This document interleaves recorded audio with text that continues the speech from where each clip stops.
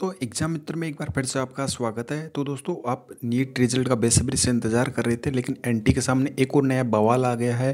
तो दोस्तों, हो सकता है कि आपके रिज़ल्ट में देरी हो, लेकिन आशा यही की जा रही है कि आपका रिज़ल्ट वो जल्द से जल्द जारी कर दिया जाए। तो जैसा कि आप सभी को पता होगा, विभिन्न मीडिया सोर्सेज के माध्यम से तो यूपी पुलिस ने एनटी के साथ में पच्चीस कैंडिडेट की एक लिस्ट जारी की है, उन और एनटी से रिक्वेस्ट की है कि इन पच्चीस कैंडिडेट का रिज़ल्ट वो होल्ड पे रखा जाए, उनका रिज़ल्ट वो जारी नहीं किया जाए।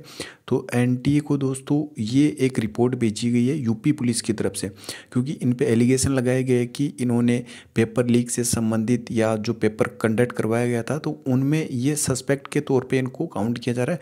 तो जो ट्वेंटी कैंडिडेट हैं उनके लिए बोला गया है एन को कि इनका रिज़ल्ट है, वो डिक्लेयर ना किया जाए। बाकी के जो अदर कैंडिडेट हैं, सोलह लाख कैंडिडेट के लगभग एग्ज़ाम दिया तो सभी का जारी कर दिया जाए।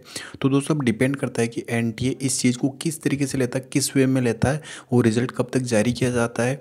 तो दोस्तों, उम्मीद तो यही की जा रही थी कि रिज़ल्ट है, वो आपका आज डिक्लेयर कर दिया जाएगा, लेकिन अभी तक कोई भी अपडेट है, वो एनटीए की तरफ़ से ऑफिशियली नहीं दी गई है।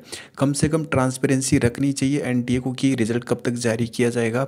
इससे पहले भी काफ़ी सारे बवाल हुए थे। जैसे कि बॉम्बे हाई कोर्ट में दो स्टूडेंट के द्वारा वहाँ पे पिटिशन दायर की गई थी। सुप्रीम कोर्ट में केस गया था। अभी फ़िलहाल केरला में एक स्टूडेंट के द्वारा पिटिशन दायर की गई है। तो इस साल दोस्तों 2021 नीट में काफ़ी सारी चीज़ें इस तरीके के सामने आई है, जो इससे पहले कभी भी नहीं आई थी।